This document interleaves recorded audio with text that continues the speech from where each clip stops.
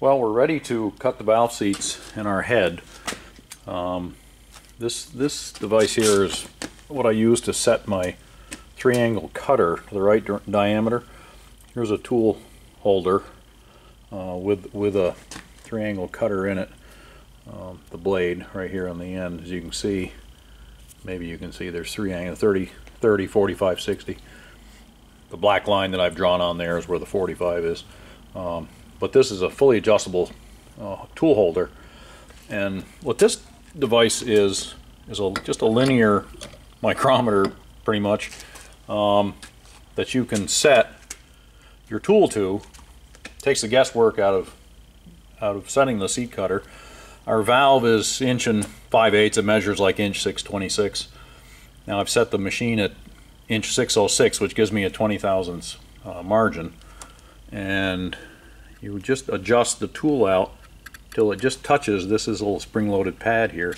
When that tool just touches that that's the OD of the valve the OD of the 45 will be 606 6065 which will leave a, a 10 thousandths margin. Uh, you can go pretty close to the edge of the valve on an intake.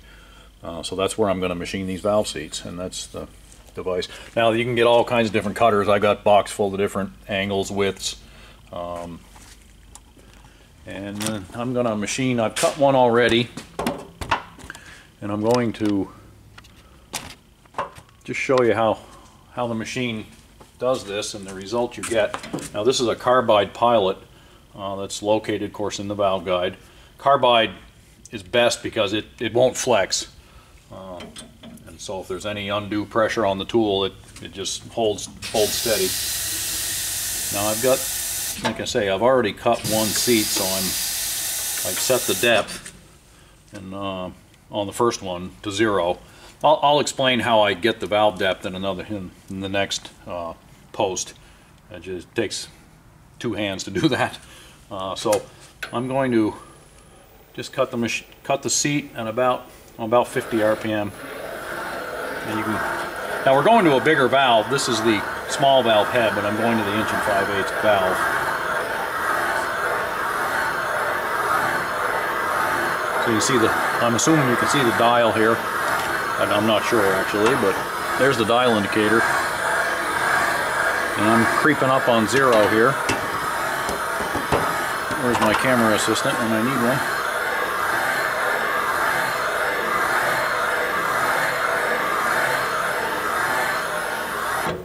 Okay. Now I'll show you what that valve seat looks like. Sorry for that. lousy video here. Just kind of cumbersome. Um, anyway, there's the there's the machine valve seat. You can see the, the 60 degree and then the 45 degree. The depth of this valve as it happens, I stop right where the 30 degree is about to start to cut. So it, the 45 is, you don't see the 30 degree cut um, because we're at depth but it, it, it, would have blended right in with the original 30. Anyway, there's a couple valve seats uh, cut. And I'll do the same thing on the exhaust. Um, and then, like I said, in the next post, I will show how I came to arrive at the, uh, the depth of the valve.